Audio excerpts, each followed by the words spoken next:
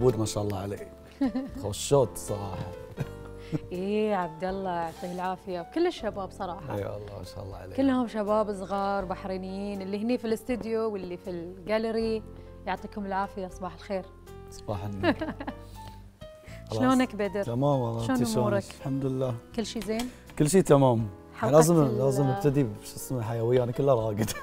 خلاص بدر الاربعاء خلص ما أسبوع. إن شاء الله الأسبوع الجاي شوي شوي إن شاء الله. إن شاء الله. شاء الله. اليوم كم قلتي تاريخ نور 18 18 شهر 9 أكيد فريق الأعداد جهز لنا مواضيع وايد ومنوعة.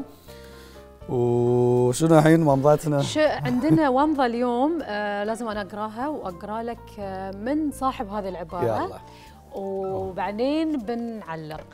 آه، من أكبر أخطائي أني كنت أمر على لحظات الفرح مرورا عابرا وأعيش الحزن بكل مشاعري إي في ناس كذي وايد يبالغون الحزن يعيشونه دائما ترى إيه. كذي الشخص يعيش الحزن أكثر من الفرح ليش؟ هل في. سبب؟ أنا ما قد فكرت فيها بس صح, صح العبارة يعني وايد فيها يعني جزء كل يوم واحد الواقع. من الرابع قال لي آه، شنو؟ كان دائما أسمع حزين وأعيش جو الحزن في السيارة، ليش ما أعرف يعني في ناس هاي هو اختار انه. يكون حزين يعني ولا عنده شيء في حياته؟ كذي بس لا تجيب صوبنا. لا تجيب صوبنا. شيء ما هل الشخص لازم يكون عشان يكون إيجابي ويحب الناس لازم أول شيء يحب نفسه تحسين. أحب نفسي آه، شيء و... أحب نفسي شيء وأحب نفسي إن أنا أكون أنانية شيء ثاني. أحب نفسي إن أنا أتقبل نفسي. آه، مثل ما أنا يعني أتقبل أسلوبي في الكلام أتقبل صوتي أتقبل شكلي. حضوري الكاريزما اللي الله أعطاني إياها يمكن الله ما أعطاني قبول بين الناس إذا فيني شيء قاصر أطور من نفسي بس أحب نفسي مم. لازم الإنسان يحب نفسه عشان يحب الحياة ويواصل علي الحداد شنو سؤال اليوم؟ هل تحب نفسك؟ يلا نشوف التقرير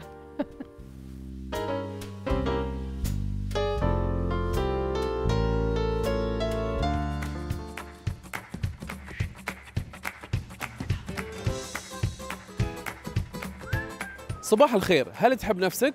وشلون تعاملها؟ خلونا نشوف نبض الشارع. والله يعني مثل ما يقول نزار قباني جربت ألف محبة ومحبة فوجدت أفضلها محبة ذاتي.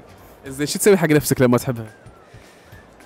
أحاول أني ما أزعل نفسي على شيء ما يسوى. إيه. شلون تعاملينها؟ آه، أكافئها كل فترة. شنو مثلا؟ آه، فيزة الزوج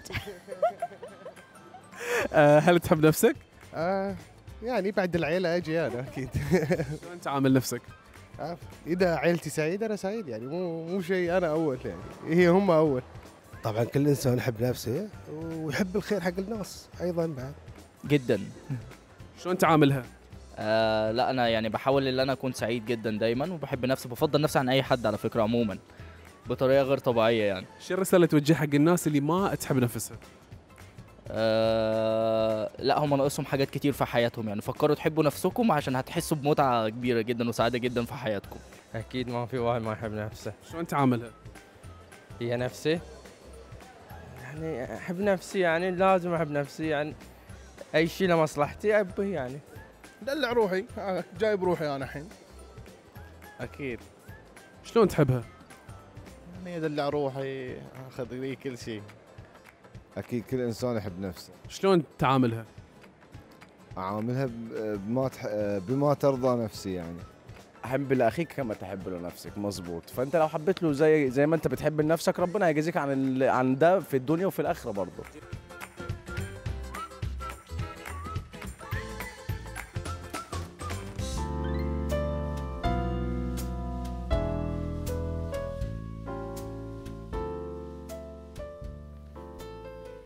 مشاهدين رجعنا لكم أكيد من بعد هذا التقرير. يعني أنا أحيي بعد زميلنا علي الحداد على هذه التقارير الحلوة وهذه الأسئلة الجميلة اللي تفتح نقاش جميل الصبح. يعني شيف صباح الخير.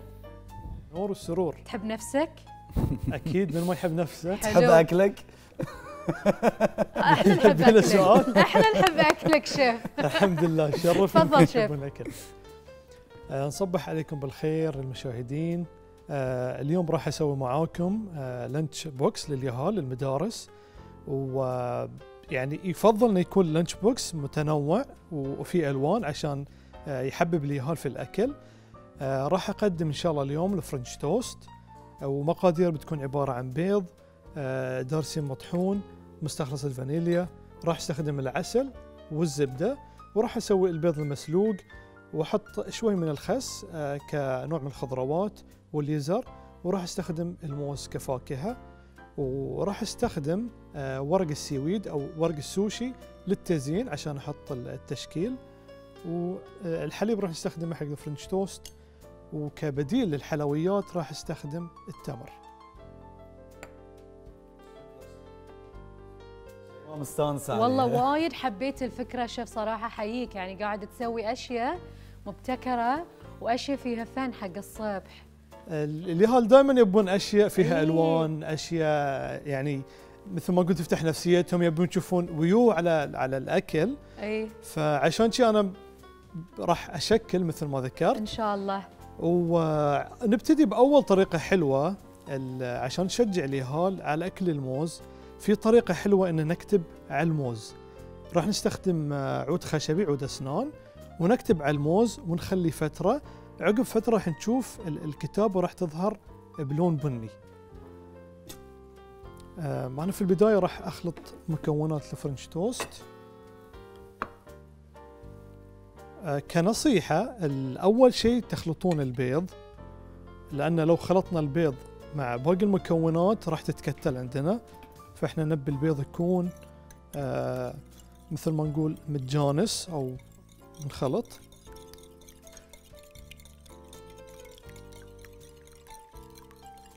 وعشان الناس تقول مثلا البيض يكون فيه ريحة ولا يستكرهون ريحة البيض عشان شي نضيف له آه، مستخلص الفانيليا.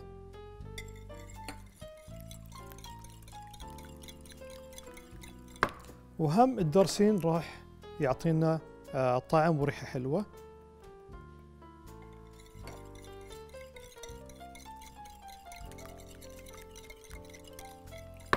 وآخر شيء راح أضيف الحليب.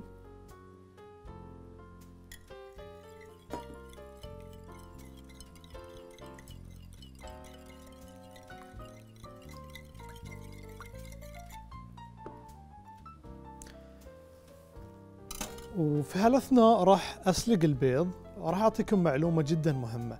عشان نسلق البيض في آه، خمس مراحل الطريقة الأصح ان نغلي الماي اول ما يطلع الفقاعات ننزل فيه البيض. المستوى الأول راح يكون خلال ست دقائق والصفار راح يكون سائل. من بعدها يكون ثمان دقائق 10 دقائق 12 دقيقة و14 دقيقة. لما نوصل ل 14 دقيقة معناته راح يكون الصفار متماسك ومستوي تماما.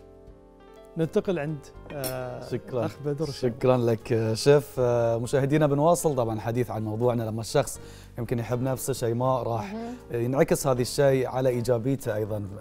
في الحياة. لكن ما هو وصل درجة الإيجابية اللي فينا؟ أكيد راح نتعامل مع ناس سلبيين في حياتنا نكتشفهم من خلال تفكيرهم من خلال طرحهم للأمور والحلول وأيضا من انتقاداتهم الدائمة. مشاهدينا كل واحد منا عنده هالصديق أو الزميل اللي يشتكي من كل شيء واللي يظن أن الكون كله يتآمر ضده. لسوء الحظ أن عليك انت تتعامل مع هالنوع من الأشخاص في حياتك. من هم السلبيين في حياتنا؟ ليش هم سلبيين؟ وشلون يأثرون بسلبيتهم على اللي حولهم؟ كيف نتعامل معاهم؟ كل هذه المحاور راح نتطرق لها أكيد مع ضيفتنا الأخصائية الاجتماعية أزهار الشعلة. صباح الإيجابية يا أزهار. حياك تفضلي. علي بعد مسكينة كان وقفته برا. وايد بعيد. صباح الخير. صباح النور. شلونك؟ طيب إن شاء الله. صباح الحمد لله. الخير. حياك حياك. أهلا صباح النور. تفضلي تفضلي. هذه الجهة أحسن. اجرب من خلج عشان نكون إيجابيين يمكن اليوم آه، ال social media هي اللي فضحت السلبيين. ما ادري اذا توافقيني الرأي ولا لا. يعني كلنا قمنا نلاحظ إن نسبة السلبية والتذمر ارتفعت على ولا شيء. فهل تأيديني الرأي؟ هو أكيد أؤيدك 100% في هاي الرأي طبعا. آه، هم الأشخاص السلبيين موجودين في حياتنا. آه، قبل ال social media ونفس ما تفضلت وقلت يمكن مع ال social media آه، قدرنا نكتشفهم ونتعرف عليهم أكثر وأكثر. فهاي الأشخاص موجودين في حياتنا. الشيء اللي يلزمنا إن إحنا نتعرف عليهم نكتشفهم من هم الأشخاص السلبيين؟ وأكثر الأشخاص السلبيين ممكن يكونون ناس يعني وايد جريبين منا صح. ممكن يكون أحد من أفراد العائلة ولا آه، من أحد الأقارب والاصدقاء أو يكون حتى زميل في العمل. فاللي يلزمنا إن إحنا نتعرف عليهم علشان آه، نكتشف السلبية اللي فيهم ونعرف الطريقة الصحيحة في التعامل معهم في المستقبل. صح. يعني الإنسان لما ينولد بالفطرة ممكن يكون آه، رسام ممكن يكون مغني ممكن يكون ممثل. هل السلبية آه، شيء بالفطرة. شلون ينشأ هذا الإنسان السلبي؟ شلون هذه السلبية تنوجد في هذا الإنسان؟ هو طبعا آه، الشخصية السلبية ما ما تكون بالفطرة آه، كثر ما هي بتكون آه، عن طريق ال- الطريقة المكتسبة. آه، التنشئة الاجتماعية لها دور وايد يعني كبير على آه، إن الإنسان ينولد بشخصية آه، سلبية. فمثلا آه، إذا كانت آه، طفل عايش في أسرة آه، مشحونة بالمشاكل الأسرية فيها عنف أسري نفسي جسدي. فشيء طبيعي إن هاي المشاكل راح تأثر على الطفل بالتالي راح تتكون عنده مشكلة سلوكية أو يكون عن طريق الأمراض النفسية. ممكن آه، الاكتئاب ال- آه، الأمراض الفصامية أو عن طريق آه، اللي هو تناول المؤثرات العقلية. فهذه الأمور لابد إن إحنا آه، نفرق بينها ونعرفها. لأن إذا كانت مشاكل سلوكي آه، مشاكل متعلقة بالطفل بمرحلة الطفولة فهني الطفل يعني أو الشخص يحتاج إلى علاج سلوكي. إن إحنا آه، نت- نتدخل في هالفتره في هالوقت إن إحنا نعالجه سلوكيا من هاي المشكلة. أما إذا كان نفسيا فهني يحتاج إلى تدخل طبيب نفسي لتقديم العلاج الصحيح له من خلال الأدوية أو من خلال ال- آه، العلاج النفسي آه، اللي يحتاج له من خلال الأمراض النفسية اللي يعيشها. يمكن ذكرتي شوي لازم نكتشفهم عشان نعرف شلون نتعامل وياهم. آه، شلون نتعامل وياهم خصوصا إذا كانوا أقارب أو أصدقاء قريبين منا. يعني ناس يمكن ويانا في العمل ولا ما نقابلهم دائما بعد تهون. يعني إذا مهم. ناس قراب منك شلون بنتعامل وياهم؟ هو أكيد أخوي يعني العملية مش سهلة. ابدا.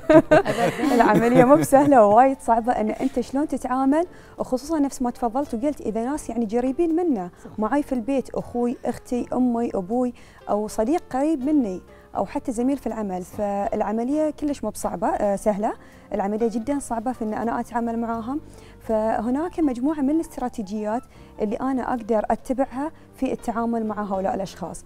اولا آه، من أحد الاستراتيجيات إن ما تكون في عاطفة آه، يعني ما تأخذني العاطفة معاهم 100% ما أنجر معاهم نفسيا وأيد أو أيد أفكارهم السلبية لأن هذه يعطيهم تغذية لشخصيتهم السلبية. بس ما يقتنعون. يعني أنا لاحظت كذا شخص سلبي مر علي في حياتي ما يقتنع أنه هو قاعد آه، يذبح روحه ويذبح اللي معاه. مم. قاعد يخلي الناس تبتعد عنه دا- دائرته الاجتماعية قاعدة تصغر. أصدقائه قاعدين ينفرون منه. ما ما أعرف. أحس دائما الشخص السلبي قوي متمسك بقراره. أيوة اي متمسك بقراره ويحس انه هو يعني اللي هو اللي يبي يفرض شخصيته عليك. إن أنت. لازم تتأثرين فيني. ولازم مثلا في بعضهم يمتلكون قوة إن يأثرون عليك إن يشوفونك أنت مثلا سعيدة ما عندك. مشاكل يمكن تصير غيرة أو حسد فيمكن انه يكون آه، ردة فعلهم بخصوص هذا الموضوع. فمهم جدا إن أنت تتعاملين معاهم بكل إيجابية. أنا ما أمتلك العصا السحرية عشان أغيركم. أنا أبو عندي مفاتيح أقدر أستخدمها معاكم أساعدكم أقدم لكم. آه والنقطة بعد أيضا المهمة إن أنا ما أحسسهم إن أنا موجودة هني علشان أحل مشاكلكم. لأن هذه بعد نقطة مهمة إن هو راح يرتكز عليها خلاص يعني دام إن أنت الحل عندك خلاص أنا يعني بعتمد عليك 100% في حياتي في جميع أمور حياتي. فلازم تحسسين هذا الطرف أو هذا الشخص إن أنت مجرد مساعد له لحل آه هذه المشكلة. آه الإيجابية جدا جدا نقطة مهمة أن أنا أتعامل معاهم بإيجابية صحيحة. دعم أقدم لهم دعم إي نعم بس ما أنخرط ولا أضيع وقتي ولا أخلي مسافتي النفسية قريبة منهم جدا عاطفيا علشان هم ما يتكلون ويعتمدون علي 100% في حياتهم. يمكن ذكرتي يأثرون عليك قلتي حق شيء ما شيء طبيعي انه يعني مهما كنت أنا إيجابي إلا ما تأثر شوي إذا في شخص سلبي 24 ساعة قدام عيني آه، بتصيبني طاقة سلبية. هل سهل إذا صادتني أتخلص منها؟ يعني الناس اليوم اللي يعانون من هالشيء هو طبعا عليهم. تأثيرات تأثيرات الأشخاص السلبيين تأثيرات كثيرة على الشخص ال- ال- اللي بيكون معاهم. مم. آه خلينا نتكلم من الناحية الصحية. من الناحية الصحية طبعا آه راح يأثر على الصح الصحة توتر راح يسبب لي صداع راح يسبب لي قلق راح يسبب لي آه آلام الضغط. آه بالإضافة إلى هذه الأمراض ممكن في المستقبل آه تنتقل أو تصير آه أمراض خطرة جدا. أو آه يمكن إن هاي الشخص السلبي يغير نظرتي في الحياة يخليني- سلبي اي يخليني. أصير آه، إنسان آه، سلبي ولا إنسان متشائم ولا دائما أطالع الحياة بنظرة سلبية ونظرة سوداء مهم. فمهم جدا إن أنا إذا يعني أتعامل مع الشخص السلبي لازم تكون هناك حدود ضوابط استراتيجيات أنا أتبعها في التعامل معه علشان أنا ما أنجرف معه في شخصيته طيب أنا شلون أقدر أحول هذه الطاقة السلبية إلى طاقة إيجابية؟ آه شلون أقدر أحول؟ نفس ما قلت لك أختي هي مو بعملية سهلة. آه تتضمن آه استراتيجيات معينة إن أنا أتبعها. آه ما أكون الشخص اللي مثلا آه دائما يتكلم عن سلبيته دائما أخلي محور كلامه عن الأمور الإيجابية. إذا بتكلم معاه أنا أكون قائد في الكلام معاه في الحوار. ما أخلي آه مثلا كلامي يكون متشتت بين إي ولا والأمور السلبية. دائما آه، في كلامي معاه أوجه كلامه إلى الكلام الإيجابي علشان يبتعد تماما عن السلبية. في سؤال من الكنترول أي. يقولون آه، الشخص السلبي موجود بس بالجانب الآخر في شخص إيجابي زيادة عن اللزوم بحيث يخلي اللي حوله شوية يتمللون من أنا أنا. الإيجابي ما وأنا. وأنا الزين وأنا اللي إيه. ما في أحسن مني نعم. تقول لك شلون تعامل وياه طبعا هو شوي إحنا دائما نقول آه، الشخصية لا السلبية ولا الإيجابية. نمسك العصا من النص، الشخصية لازم تكون معتدلة، فالشخصية الإيجابية أيضا اللي زيادة عن اللزوم هاي لازم يكون في لها مواجهة، لازم. تواجهه وتكلمه وتعرفه ترى إن أنت في واحد اثنين ثلاثة إن الأمور اللي أنت قاعد تقولها يعني over ولازم اي اللزوم. يعني لازم تنتبه حق هاي النقاط وتوجهه حق هاي الأمور علشان هو يمكن في ناس ما يلتفتون حق هاي النقطة اللي هم فيهم بس أنت كأن أنت يعني مثلا زملاء عمل مثلا آه، عندي زميلة أو زميل في العمل دائما يعني مثلا يتكلم عن نفسه بإيجابية زيادة صح. عن اللزوم ففي بطريقة لطيفة أقدر أنا أوصل له أن ترى هذا الشيء خطأ اللي أنت قاعد تسويه آه، لأن إذا سكوتي عنه ومرافقتي معه في ذا الكلام راح أنت تقدم له تغذية للإيجابية أو السلبية اللي هو قاعد صدق يقدمها. روحه أكثر. أي نعم صدق روحه أكثر نصيحة توجهينها حق اللي ما يمسك العصا من النص مثل ما قلتي حق اللي دائما ياخذ الأمور إلى حدها الاقصى سلبي جدا أو حتى إيجابي جدا آه، شوف أختي شيماء إحنا ممكن آه نكون علاقات جدا ناجحة مع أشخاص سلبيين بس إذا كانت توقعاتنا واقعية في تغييرهم. آه إذا كانت في توقعات واقعية واضحة إن أنا ما بي ما بي بغير الشخص في ليلة وضحاها، لا هذا الشيء وايد مهم ان أنا أخليه في بالي علشان أكون شخصية علاقة ناجحة مع هؤلاء الأشخاص. آه في النهاية أنا مسؤولة عن نفسي، أقدر أغير نفسي فلازم أركز على سعادتي عشان أنجح. صحيح كل واحد مسؤول عن نفسه أكيد صح مشاهدينا كانت معنا الأخصائية الاجتماعية زهراء الشعلة أزهار آه، الشعلة. شكرا لك أزهار. يعطيك العافية. وأنا يستعيلون لك والله يهداهم. شلون تشكر الضيفة؟ الله يبعد عنا السلبية والسلبيين إن راح شاء الله اللهم وراجعين اللهم آمين. وياكم. يعطيكم العافية. شكرا. الله يعافيك. شكرا.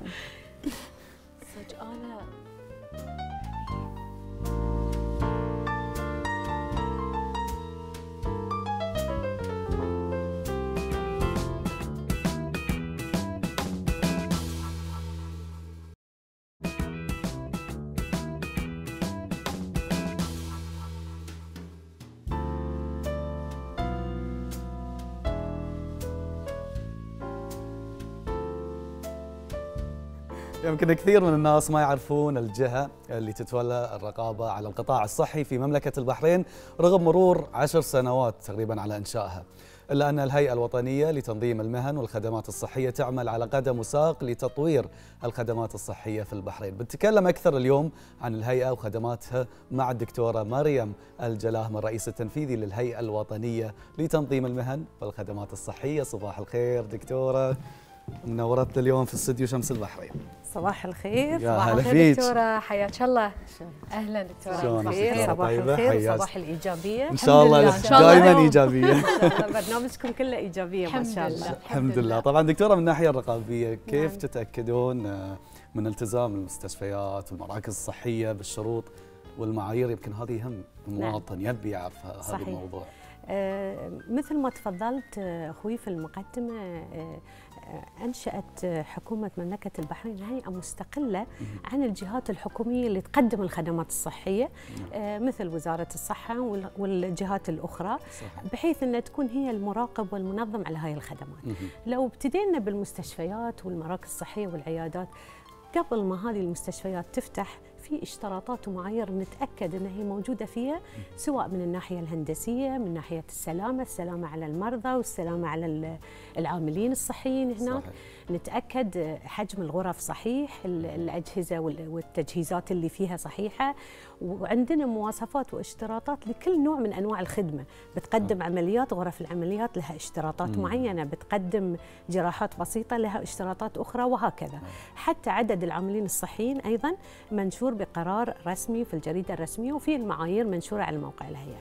لما المؤسسة تبتدي تشتغل نبتدي نطلب منها إنه يكون عندها سياسات وإجراءات مكتوبة.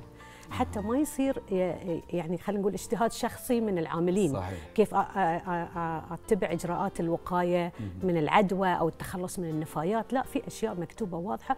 وعلى المدراء والقائمين في المستشفى التأكد منها. لما تشتغل المس- ال- الم- المستشفى أو العيادة أو المركز عقب سنة في عندنا برنامج آخر اسمه برنامج الاعتماد واللي يتم فيه تقييم جودة الخدمة فيها كيف تقدم الخدمة للمريض لو صار خطأ طبي كيف تتصرف صح. كيف تحافظ على من عدم انتشار العدوى في المستشفى وهكذا فعندنا تفتيش ورقابه قبل عندنا تفتيش دوري عندنا تفتيش مفاجئ وعندنا تقييم أيضا سنوي كل ثلاث. سنوات دكتور يعني أتوقع الرقابة على ال- الأدوية من أهم المسؤوليات اللي تقع على عاتق صحيح. ال- ال- الهيئة لكن آه، أنتم كجهة رسمية الآن مثل ما حضرتك ذكرتي شلون تقومون بمراقبة هذه الأدوية ورصد المخالف منها قبل دخولها نعم. مملكة البحرين؟ آه، طبعا الهيئة تقوم بالرقابة على ال- الأدوية سواء اللي بتاخذها المستشفيات الحكومية أو اللي بياخذها القطاع الخاص أو اللي راح تباع في في الصيدليات. آه، أنتم كمواطنين ومقيمين تبون تتأكدون إن في جهات تتأكد هذا الدواء في مملكة البحرين صحيح غير مزور ما, ما في مشاكل مثل يمكن الحين سمعتوا عن دواء إحنا حذرنا منه إن احتمال حسب التحذيرات الدولية ان في شوائب مسرطنة وإحنا نعم. لازم نتأكد إن الدواء اللي موجود في البحرين ما في هاي الشوائب. قبل لا يدخل أي دواء في مملكة البحرين يجب أن يسجل. فالوكيل اللي بيورد الدواء لازم يسجله ويجيب معاه الدراسات والشهادات المطلوبة للجودة. في عندنا شهاده جودة المصنع نفسه. لازم المصنع نفسه يكون مسجل لازم. الدواء يكون مسجل. كلها وثائق يجيبها لما طبعا وفي بعض شهادات تحليل الدواء سواء خارجية أو في مملكة البحرين وبعدين لما يوضع في الأسواق أيضا نراقب ناخذ عينات ونتأكد حتى من الأسعار لأن إحنا مسؤولين عن تحديد الأسعار ويجب أن لا يباع أكثر من السعر اللي وضعته الهيئة مم. دكتورة مريم نسمع عن ضبطيات تقوم فيها نعم. الهيئة حق اللي يزاولون المهنة من غير ترخيص أو صحيح. الترويج لأدوية مزورة خبرينا نعم. شوي عن هذه الضبطيات وكيف آه. ممكن تصطون لهم وتصيدونهم أي. مثل ما نقول. طبعا آه، البحرين صغيرة. صح. ال social media بعد صغيرة. صح. وايد أشياء نضبطها يا عن طريق ال social media والدعايات ال social media وايد. صحيح. أو عن طريق التعاون طبعا ما شاء الله عليهم إدارة المباحث والتحقيقات الجنائية على طول متواصلين معنا يعني إحنا على أتم استعداد 24 ساعة عندنا مفتشين عندهم ضبطية القضائية. آه، ألو جاهزين عندنا كمين جاهزين عندنا كمين. هي الكمين يكون من عندنا الكمين يكون من المباحث. آه، لأن أنت لازم إجراءاتك تكون صحيحة ولا ممكن تخسر حتى القضية. فطبعا إذا سمعنا عن أحد يبيع أدوية ندخل ون- ونطلب شراء الأدوية. إذا سمعنا عن طبيب يزول آه، أو مو طبيب إنما شخص يزول مهنة بدون ترخيص. ناخذ موعد ونروح وندخل. ضبطنا شخص آه، يزاول مهنة الطب آه، غير متخصص أصلا. آه، أجنبي. ضبطنا أجنبيات في شقة يضربون filler Botox آه، ضبطنا ناس تبيع أدوية منشطات للرياضيين. وآخرها يمكن سمعتوا الخبر اللي هو ضبط شخص آسيوي يزور في الوصفات الطبية يزور الختم ويزور الوصفة الطبية.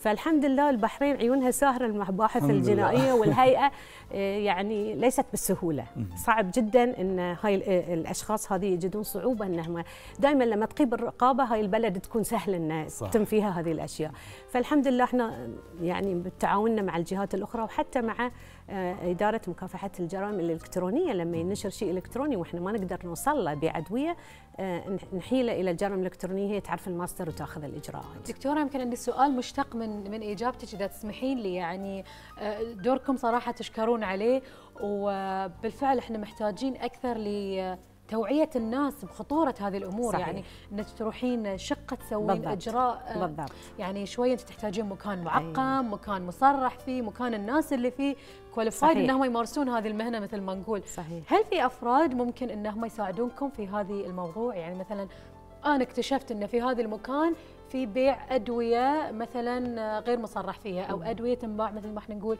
بالخش أو تحت الطاولة. في تجاوب مع المجتمع البحريني في أيضا؟ في كثير. يعني تشوفي مع المهنيين نفسهم آه، مع المجتمع البحريني ما شاء الله إحنا عندنا مفتشين لكن إيه. كل مواطن مفتش أنا أعتبره. بالضبط، أنا كان في ناس. يبلغونا عن إجراءات تتم في صالونات. المفروض صالونات عادية صالونات تجميل صالونات شعر.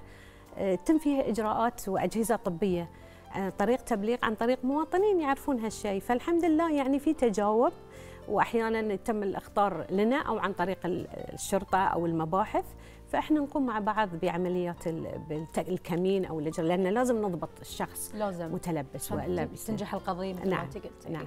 دكتورة يمكن البعض آه، يلجأ للإنترنت آه،. يشتري أدوية ولا صحيح. منشطات ولا أي منتج. يوصلني طرد شخصي يعني في النهاية وبعدين أقوم أزاول المهنة. نعم. هاي الطرود الشخصية في لها أي. طريقة ممكن. آه، وإحنا طبعا الآن توصلنا طرود شخصية بكميات رهيبة، الإنترنت سوق مفتوح صح. وفي أسواق وما شاء الله معروفة، لكن حتى الأسواق المعروفة بدون ذكر أسماء ترى م- منظمة الدواء والغذاء الأمريكية قالت إن فيها تباع منتجات مزورة. إحنا ال- ال- الجمارك تحيل لنا كل الطرود. آه، شخصيا نستلمها منظمين عملنا كل اثنين وخميس بكميات رهيبة يعني. إحنا نتأكد طبعا إن اولا هذه مو بأدوية ممنوعة لازم توصف بوصفة مثل الأدوية المخدرة، الأدوية اللي فيها هرمونات، كثير من الشباب يبون أشياء رياضية ما يو... ما يبتعي ان فيها هرمونات وممنوعة. ويشتريها بكمية وما يدري، ولازم نتأكد إن الشخص الكميات اللي جايبها للاستعمال الشخصي وليس للتسويق باكر. أنا أسمح لها الطرد الشخصي ويطلع لكم ثاني يوم في الإنستغرام. بالضبط. فنتأكد إن هي مو ممنوعة. نتأكد إن هي صحيحة مثل ما هي مكملات غذائية بسيطة ما تحتاج وصفة ما في مشكلة. أي طرد يوصلني عليه أدوية أو شيء لا يفهم لغته يرجع مرفوض لأن أنا ما أقدر أبت فيه. جميل جدا. أي مثل وخصوصا أدوية تنزيل الوزن. أنا هاي الصراحه يعني بالنسبة لي شيء خرعني أحس ملايين اللي- موجودة. من اللي أشوفه في السوشيال ميديا مثل ما صح. ذكرتي دكتورة تحس إن العالم صار نقطة فبالتالي أنت تعرف إن في هالبلد فيها الدواء في هالمدينة صح، فيها صح. الدواء ففي ناس دكتورة في- تبي الشيء البسيط يمكن يكون. أرخص عن طريق الإنترنت بس الصراحة المضمون أكثر اللي إحنا فاحصينه وسامحين له في البيع داخل الدولة. بس أنا أبي أوجه هني يعني رسالة توعية حق الناس انه أنت حتى لما تروح عيادة أو بتسوي إجراء أو عمليه من حقك تسأل الطبيب أنت مرخص أنت متخصص في هاي النوع من العمليات. هل أنت مسموح لك حتى تسوي filler Botox مو كل واحد مسموح له إحنا سامحين الامراض الجلدية الاطباء الجلدية عفوا للأطباء التجميل الأسنان ممكن والأنف وأذن وحنجرة لأن عندهم علم التشريح. الوجه. أي. غير كذي مو مسموح حق ناس ثانيين حتى لو كان عنده خبرة ان نعطيه لأن تهمني أنا المؤهلات العلمية اللي هو استند إليها. صحيح. أنا حابب بس أقرأ اسم الجائزة بمسماها الصحيح جائزة أفضل الممارسات الحكومية. صحيح؟ صحيح. نلتوا هذه الجائزة في الملتقى الحكومي عام 2008 كلميني عنها 2018. 2018 عفوا نعم. كلمينا دكتورة عن هذا البرنامج وعلاقته بتحسين الخدمات آه، طبعا حكومة مملكة البحرين وكل سنة في الملتقى الحكومي تكرم الجهات الحكومية اللي أطلقت مبادرة للتميز. آه، تتميز بتحسين آه، لها أثر لتحسين الخدمات. وبدون آه، تكلفات إضافية وإدارة مالية وتؤدي إلى تحسين الجودة في الخدمة. إحنا أطلقنا برنامج لا يقام إلا من قبل ال- الجهات الدولية اللي هو اعتماد وتقييم الم- المستشفيات والمراكز. يمكن المملكة العربية السعودية سبقتنا عندها المركز آه، آه، اعتماد المنشآت. إحنا وقعنا معاهم مذكرة تعاون عشان ننشئ برنامج وطني. إحنا آه، هذا البرنامج يعني إن أنا أدخل المستشفى من مجلس الإدارة إلى أصغر موظف لازم أدقق شنو يصير. مجلس الإدارة يجتمع يراجع الخطة الاستراتيجية خطة التوظيف الخطة المالية. طيب إدارة المستشفى تطلع تعاميم والتعاميم دي واضحة وتوصل لل- للناس. عندهم سياسة وإجراءات مكتوبة لمكافحة العدوى مثلا التخلص من النفايات بعدين أروح للستاف للممرضين. راوني شلون تتخلص من النفايات؟ راوني شلون لو انسكب دم على الأرض تتخلص منه؟ اشيك الصيدلية إذا يحتفظون بالأدوية بطريقة صحيحة الأجهزة الطبية كلها ونطلع تقييم للمؤسسة. الماسي اللي حصل أزيد من 95% آه، بعدين من 90 إلى 95 البلاتيني آه، أنزل من شيء ذهبي ثم الفضي في تصنيف ففي حلو. تصنيف في تنافسية على الحصول على على الماسي. على الماسي إيه. و- وفي تقييم وكل سنة نتابع خطة التحسين يعني أنا أرفع توصيات للمستشفى أنت لازم تسوي هالتوصيات بعد سنة أزوره أشوف نفذ الخطة ولا لا وبعدين أجدد شهادة ال- الاعتماد كل ثلاث سنوات أسوة بال بال ال- أو المؤسسات العالمية اللي تعطي هاي الشهادة. فالحمد لله آه، نلنا هاي الجائزة وهذه فخر لنا ولمملكه البحرين. الحمد لله الحمد لله. جهود تشكرون عليها أكيد دكتورة مريم جلاهبة الرئيس التنفيذي للهيئة الوطنية لتنظيم المهن والخدمات الصحية. كل الشكر لوجودك شكراً معنا. لكم. شكرا لك. مشاهدينا بعض الأوقات ننحط في مواقف طارئة تتطلب منا سرعة بديهة وخبرة في التعامل معها. في هالتقرير راح نتعلم إجراءات الأمن والسلامة حول استخدام طفاية الحريق. ونرجع نواصل حلقتنا من شمس البحرين.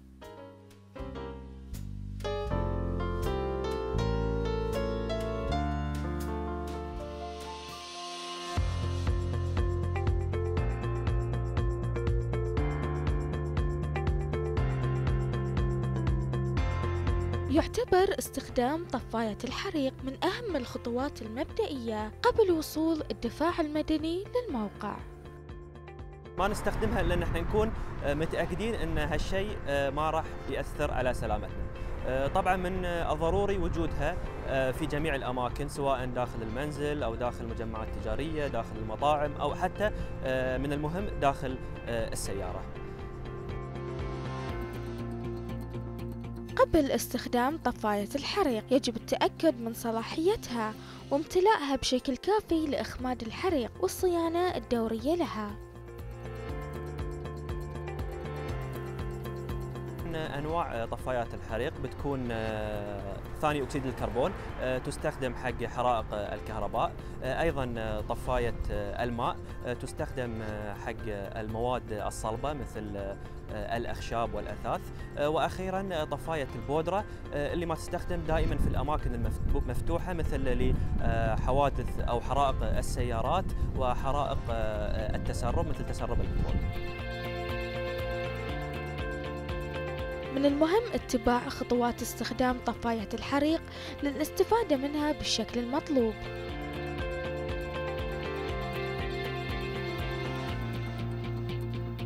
في البداية آه، التأكد من المؤشر إنه يكون على آه، اللون الأخضر. آه، بعد ذلك آه، إزالة آه، بلاستيك الصيانة وسحب آه، مسمار آه، الأمان. آه، وبعد ذلك آه، التأكد منها من حيث الأداء آه، مكان قريب منك. آه، وبعد ذلك إذا آه، كل شيء بالشكل الصحيح آه، تذهب بها إلى مكان حدوث الحريق وتكافح الحريق. منها.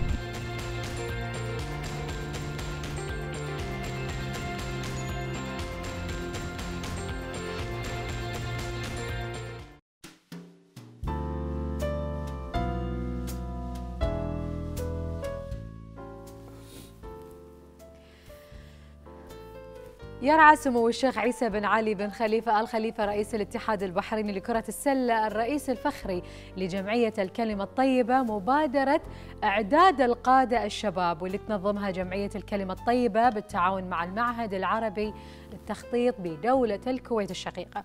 ومعنا أكيد للحديث أكثر عن هذا الموضوع المنسق العام لمبادرة سمو الشيخ عيسى بن علي آل خليفة زكية المحميد. زكية صباح الخير. حياك الله. اليوم مواضيعنا حلوة كذي وايد اليوم خفيفة إيه. حيا الله من يانا شلونك طيب. حياك تفضل حياك أهلا مرحبا شلونك؟ تفضلي الله؟ يسلمك. حياك الله يعني في البداية حابة أتعرف منك أكثر على فكرة هذه المبادرة بشكل عام فكرة المبادرات مع توجهات جلالة الملك لإعداد الشباب وتأهيلهم وإعداد صف ثاني صح. للقيادات جميل جدا إحنا بحاجة أكيد اليوم لشباب يقيدون المستقبل إن شاء الله بس شنو اللي تسعون لتحقيقه من خلال هذه المبادرة؟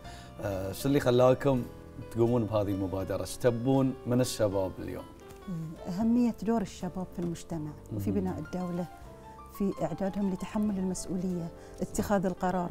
مثل ما قلت لك صف ثاني صح. للقيادة في المؤسسات بس تحسون الشباب اليوم آه، قادر انه قادر على القيادة ولا فعلا يحتاج نركز على هذه النقطة إي نعم؟ عندنا شباب ما شاء الله يعني مملكتنا تزخر بمجموعة كبيرة من الشباب المؤهل اللي عنده أبداع عنده فكر صح. ما شاء الله عنده ثقافة أكيد. يعني يمكن أهم شغلة أنت حضرتك قاعدة تذكرينها لي أستاذة زكية هي إعداد القادة الشباب. كلميني عن هذه ال- ال- البرنامج اللي حضرتكم تشرفون عليه أو تقيمونه في الجمعية. هل في نقاط معينة تركزون عليها من ناحية آه، تجهيز هذا الصف الثاني مثل ما حضرتك ذكرتي؟ كلمينا عن هذه الأمور اللي أنتم تقومون فيها في الجمعية بشكل أكثر. إي بتكون في برامج تخصصية عن التنمية عن محاور التنمية مفهوم التنمية الشاب يكون قادر على اعتماد على نفسه تحمل مسؤولية اتخاذ قرار آه، بناء صف ثاني آه، يقدر يسوي له برنامج يقدر يسوي له مشروع من نفسه بروحه.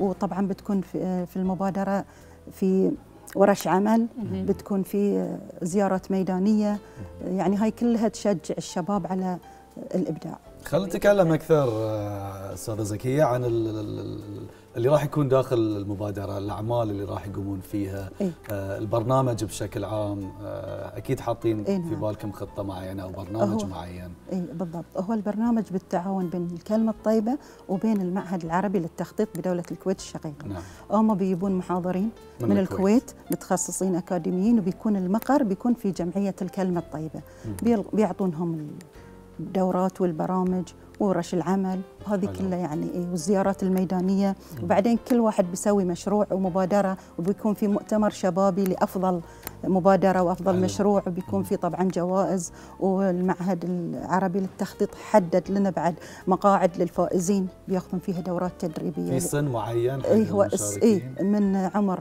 20 ل 35 ويكون هو يعني يشترط أنه هو يكون يعني من المؤهلين اللي عندهم دبلوم من بعد الثانوية على الأقل سنتين. ويكون عنده روح المبادرة. أهم شيء. إنه هو يكون. يحب يبادر حق المشاركة في البرنامج طبقتوا إيه. هذه التجربة من قبل في برنامج آخر أو مثلا هل تم تطبيقها في دولة الكويت فكان في نتائج ناجحة فبناء على ذلك طبقتوا هذا المشروع أو هذا البرنامج في البحرين والله المعهد بيتخذ البحرين نموذج جميل إيه. حلو ومن ضمن هذه المبادرة بتكون البحرين نموذج بي- بالتعمم على الدول العربية. ذكرت يمكن قبل شوي ال- ال- المشاركين من سن قلنا كم؟ خمس- 20 ل 20 ل 35. 35 إيه نعم. آه أي واحد يقدم ممكن آه يشارك ولا في هناك مثلا مقابلات ولا في لجنة. اختبارات ولا في في في لجنة مهم. لجنة مقابلات بتكون يعني مشرفة على هذه بناء على أساس هاي الشروط اللي قلتها لك السن والروح المبادرة. اي بيتم هذه ما شاء الله بعد اللي سجلوا عدد كبير يعني الحين بنقعد نشوف العدد اللي إحنا نبي نوصل. له التسجيل ما زال مفتوح ولا؟ والله يعني وايد صار عندنا تسجيل لدرجة إحنا حاليا آه، فكرنا إن إحنا نوقف التسجيل على أساس نسوي حق الدفعة الجاية. حق الدفعة الأولى كنا نبي رينج اللي هو 120 إحنا وصلنا يمكن 180 ما شاء الله. المنسق العام. تفضل. بدر. لا لا. لا لا, والله لا. عندك مشاهدينا كان معنا المنسق العام لمبادرة سمو الشيخ عيسى بن علي آل خليفة الأستاذة زكية المحميد. شاكرين لك حضورك وموفقين إن شاء الله. شكرا لحضورك ان شاء معنا الله مشاهدينا التقرير التالي يستعرض هواية شخص اندهش من اللي أنتج الفكر الإنساني خلال الحقب الماضية وهالشيء يمكن تفعل اهتمامه بجمع السيارات. في وجهة نظره هي مو بس هواية لكنها استثمار للمستقبل.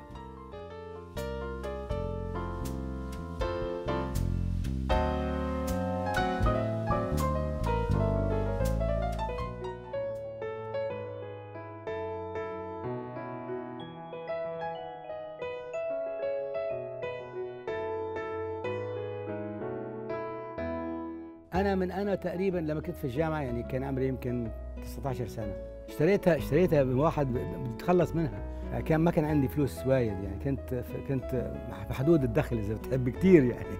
فمن كلمتك للطالب فاستطعت إني أشتري سيارة فورد موجودة عندي هنا هلأ آه، موديل 1917 وكانت كنت لما أمرق في شارع الحمراء في لبنان كان الكل يوقف بالصف يتفرج علي وعلى السيارة وهي كانت حالتها في الويل.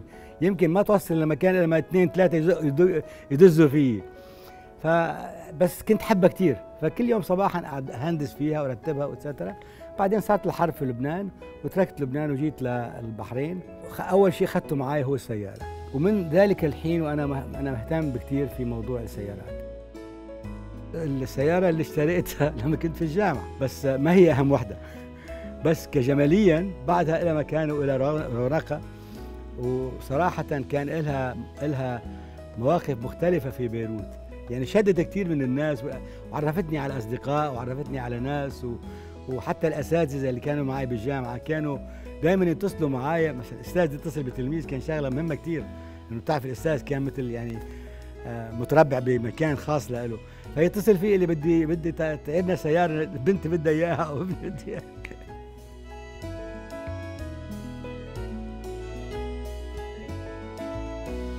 أهم اكتشاف الإنسان لقى هو الدولاب لأنه آه، هو في اجى بالصدفة.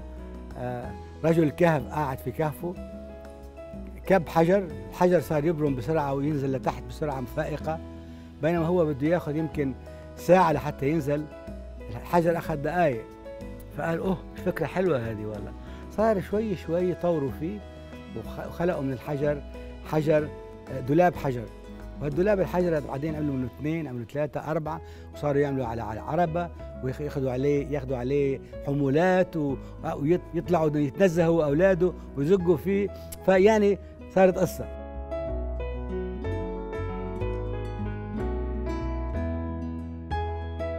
صرت أحط إمامي أكثر شيء على إني أجمع السيارات. وصرت كل ما أروح على بلد أبرم أبحث إذا في متاحف أتفرج عليها إذا في مزادات أنزل فيها. إذا في آه، آه، مجال إني أشتري سيارات موجودة في البلد وأنا بحب إني أسوقهم فمش بس منظر يعني كل جمعة باخذ سيارة بطلع فيها بسوق فيها بت... إنه سيارة اذا ما سقتيها مثل كل شيء في الحياة ما تشغلي تفقديه معظم الأعراس إذا بت... إذا بت... اللي إجت من الهند وإجت من غير غير بلدان خارجية وزارة السياحة دائما بتتصل معي وبتاخذ سيارات لتعطيها لهالضيوف يجيبوا فيها العرسان وال بناخذ السيارة بتكون حالتها في الويل وبنرجع نعيد بنائها فبتطلع بتشوف السيارة بس تطلع فيها بتقول هذه جديدة وبنحطها على الإنترنت بنبيعها وطبعا الهدف مش هو تجاري بصراحة لأنه كل سيارة بتاخذ سنة ونص بدها تخلص ف يعني تصور قد بتاخذ وقت. إنما الهدف الأساسي منها هو هو البقاء على التراث المهم الإنساني. كان دائما مهتم ب بالأمور الجمالية. ف وبعدين خصوصا إذا كانت قديمة لأنه كنت أستغرب إنه كيف الانسان يقدر كان يقدر يعمل الأمور يعمل الصناعات المتميزة هذه بدون الإنسترومنتس الموجودة هلأ. كانت كل كل الأدوات اللي عنده أدوات بدائية. فكيف كان هذا يقدر يعمل هالشغل الجميل هذا؟ كل فترة من الفترات كنت أقول لنفسي يمكن تموت هذه الهوايه بس الحمد لله انه في ناس كثير أكثر مني بكثير عم تفكر مثلي. وكل ما يطلع شاب جديد عم يرجع بقول لنفسه بدي بدي أهتم بشيء له علاقة بالتاريخ والماضي وماضي الانسانيه مش ماضية وحدة ماضي إنسانيتي. هواية أفضل من تحطي فلوسك في البنك يمكن. أنا وصلت لهنا لأنه في أجيال طويلة كثيرة قبلي فكرت واشتغلت على نفسها وراقبت الطبيعة وراقبت الأشياء اللي في الموجودة في الحياة وقدرت تعمل منها أشياء جميلة ومفيدة. فالسيارة جميلة مفيدة بنفس الوقت فيها فيها عمق التجربة الإنسانية اللي هي الحركة.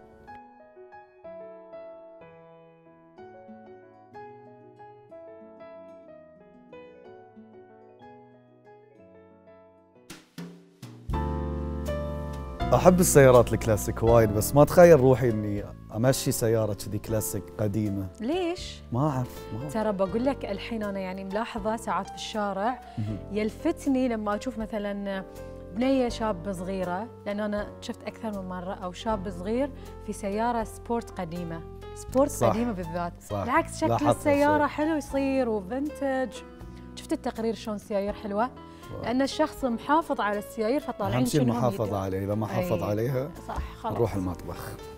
نروح المطبخ.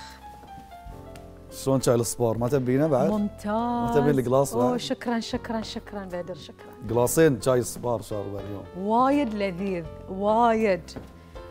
أنا المرة الجاية لازم أبحث عن فوايد شاي الصبار. يصير أطوف من قدام يلا. شلون أكشف؟ الله يسلمك. يا ربي؟ مساعدين اثنين اليوم. يلا وياك. يلا. واحد على الفرن وواحد على التقطيع. إي okay. أنا الفرن. إنزين مثل ما تشوفون أنا جهزت ال box. إي. يكون في كذا section. حطيت الخس عشان يعطي شكل حلو. ويقدرون ياكلون اليهال حلو. أها. وتذكرون لما كتبت على على الموز؟ امم شنو كتبت على الموز؟ البحرين. خوش نشوف شيء. الموزه شمس البحرين. لا حلو شكلها. حلوة يعني هذه مجرد نسويها خلال آه، دقائق بس بتطلع عندنا الكتابة. زين. أم، أنا إيش سويت؟ خذيت الجزرة مم. قشرتها باستخدام المقشرة okay. صارت عندي شرايح. ولين ما صار عندي شكل آه،. مستطيل بالطول. أقدر أقطع أسوي مكعبات. والشرايح شيف إيش بنسوي الحين فيها؟ ارويك شو نسوي فيها؟ okay. بهالطريقة صار عندي شكل واحد. وهاي الشكل الثاني سوت لي شكل نجمة بعد حلو مثلث شلون سويتهم؟ يعني عندك هاي اللي تقطع ولا لا أنت بروحك؟ بالسكين آه بروحك ينباعون القطاعات إيه، ينباعون بس إيه. اللي ما عنده يقدر في البيت يتفنن okay خوش شيء. اي وهذيلا أم، أخوي بدر أنت سألتني هاي إيش بنسوي فيه صح؟ أنا سألتك أو أختي شيماء إيه. بنلفه بهالطريقة بيكون شكله حلو. okay. وبس نبتدي نصفه خلينا نلف ال box علشان الشاشة. هاي الكاميرا صح؟ زين ففي كذا حركة نقدر نسويها واليهال يحبون الإشكال بشكل صح. عام. آه ما لاحظت التمر أنا في النص. إي حطيت. التمر ذكرته بساعه وحطيته هني يكون بديل حق الحلويات. مم. حلو إنك تعلم الطفل من البداية على خيارات وهل- بديلة صحية. بالضبط وفي التقطيع خصوصا هالأشياء هاي نقدر نعطيهم سكين شوي ما تكون حادة ويساعدونا في التقطيع. أوكي. زين أن نسوي ال French toast. okay. الخليط سويته وجهاز عندي. هذه هو الخليط صح؟ هاي هو الخليط. يصير بس نعيد بشكل سريع شنو فيه؟ اي حطيت فيه الحليب إيه. والبيض. إيه. آه حطيت فيه شوية عسل عشان أعطيه حلا. أها. حطيت له بودرة دورسين بودرة دورسين. الفانيليا. حلو.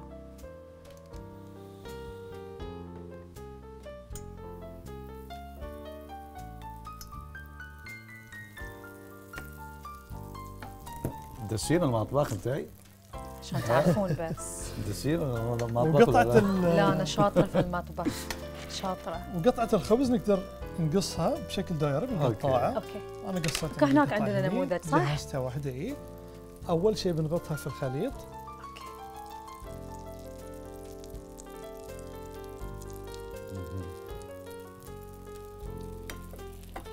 أبي شيء علشان أقلب فيه. آه، تساعدني شيماء؟ أيوه شكرا. خلي بس دقيقتين أو دقيقة. أبي أجيبها صوب الزبدة أكثر. okay. okay.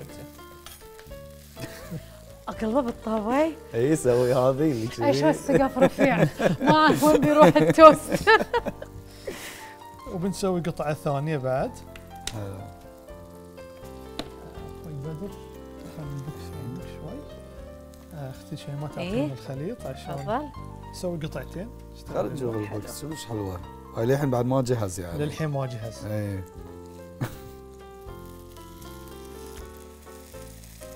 هذه ما قلبة؟ لأن احسه نشف ولا نقدر خليه بعد؟ نقدر. إيه. يا سلام. لا فنانة. الحلقات اللي بتك- بتكتشف ان أنا فنانة صج. إيش رايك في يوم من الأيام أنا أسوي طبق وانت تسوين طبق. والشيف يحكم. يتفرج يكون سوي حكم يحكم. بس. خلاص موافقة أنا ما عندي مشكلة بس أنا مو شاطرة عاد في يبي لنا ساعة الحلويات كاملة بس في المطبخ أنا مو شاطرة في الحلويات. بدر شاطر في آه، في أشياء وايد كذي مالت مالت هليان صدق؟ إي والله البشرة يعني فيك شاي في مرة. سلمون شاي في أفوكادو أنا أحب شي أخترع أكلات بروحي يعني ما أمشي على شيء معين اخلط ذي وبس أسوي لي أكل. لازم مقادير شيف أنا كله يعني خاطري آه،. هو في آه، لازم مقادير وإذا كان في وصفة لازم نلتزم بالوصفة. عشان يعني في مكونات نستبدلها النتيجة تكون يعني عكس التوقعات صح. تماما. فأنا دائما أفضل أقول آه، يفضل تمشون على وصفات بحذافيرها. يعني مجرد زيادة ملح ولا نقصان ممكن يأثر على الاكل يأثر على الأكل. صح. خصوصا في بعض الوصفات يعني ال- الملح ما ينحط لغرض معين. حتى الشكر مثلا في الحلويات مثلا واحد يقول لي لا أنا diet ما أبي أزيد الشكر. صح. فإي فلازم نلتزم بالوصفات. آه وعشان أزين بعد أنا فردت قطعة الخبز وسويت منها دواير. آه. هذا راح أسوي فيها العين. okay. إيه، عقب ما يخلص التوست الحين نسوي واي. نسوي واي. حلو. نعم. عرفت. عرفت الحين ليش التوست صار دائري. زين على ما يجهز التوست تقريبا جهز خلاص؟ الحرارة. يعني إيه، هاي كفاية الحراره بس إيه. يتحمر. بند عليه الحين. سكرنا الفرن صح؟ آه سلقت البيض مثل ما تشوفون. أستخدم ورق مهم. أو ال seaweed هاي خشم ولا حواجب؟ هاي بسوي فيه العين. ها العين. اي علي شلونك؟ طيب صباح الخير. حط فيه العين. وهو مجرد شكل يعني. حلو. ما يهمني يكون شكلها صدق إنه عين عين. لا والله تعطي ملامح على الأقل. نحط لها الخشم. آه مسوي سنين عشان إيه. okay. نحط لها ريحة الريل. ال cinnamon احس ابي قلبه شيف اي ما قلبي فيه. لأنه قاعد يصير. أحمر على حرارة الطابة. وهو شوف شكل كتكوت. لا. صراحة يعني. character حلو. وبنحطه هني مكانه. حلو. okay. okay. صار جاهز عندنا التوست. سختي شيء ما تنخلينا هني.